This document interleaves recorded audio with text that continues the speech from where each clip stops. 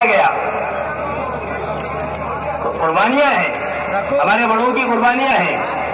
आज क्योंकि मौजूदा हुकूमत की पॉलिसियाँ ऐसी है, जो हिंदू मुस्लिम के बीच में नफरत पैदा करना, देश में जो है नफरत का माहौल पैदा करना